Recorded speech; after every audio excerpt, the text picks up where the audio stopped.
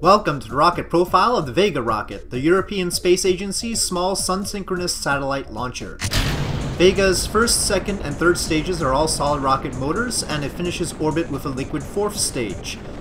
The first stage is a P-80 booster providing 2,261 kilonewtons of thrust for 1 minute and 50 seconds.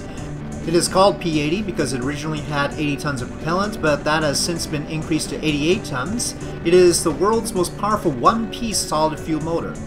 There are plans for a P100 and a P120 version of the motor, with the P120 eventually replacing the P80 on the Vega. The P120 will also be used in sets of 2 and 4 as strap-on boosters for the Ariane 6. Efficiency for the first stage is 280 seconds specific impulse in vacuum. The second stage is the Zefiro 23 stage, which provides 871 kilonewtons of thrust for 1 minute and 17 seconds. The second and third stages are both made by Avio in Italy, which also handles the main manufacturing integration and testing of the first stage.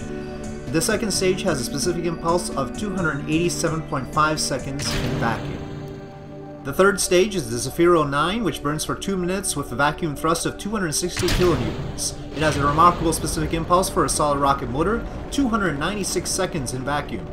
In future versions of the Vega, the Zefiro 40 may replace the second stage, and then there are plans to create a new cryogenic upper stage burning hydrogen and oxygen, which would replace both the third and fourth stage. However, the Vega has been subject of many, many proposed upgrades, including a methane oxygen upper stage, so it is likely that the triple solid stage variant will remain for some time. The fourth stage is the only liquid stage, it is called the Avum, and it has a tiny 2.42 kilonewtons of thrust, burning UDMH and N2O4 for up to 11 minutes and 7 seconds. The actual engine is an RD-843 from Ukraine, and has a chamber pressure of 2,960 psi, allowing it to get a vacuum ISP of 315.5 seconds. Its main job is to complete orbit and then to get the payload to its destination orbit. There have been 7 launches of the Vega as of the recording of this video, and all have been successful. Three were technology demonstrations, and the others were all Earth observation satellites being placed in sun-synchronous orbit. All planned launches of Vega are also to sun-synchronous orbit, which allows the satellite to pass over any point on Earth's surface at the same time, providing roughly the same lighting each day.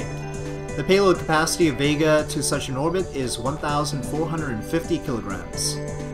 The goal of Vega is to make such launches cheap thanks to the simple manufacturing process of its motors, and if it can be launched four times a year, each rocket would cost about 22 million euros.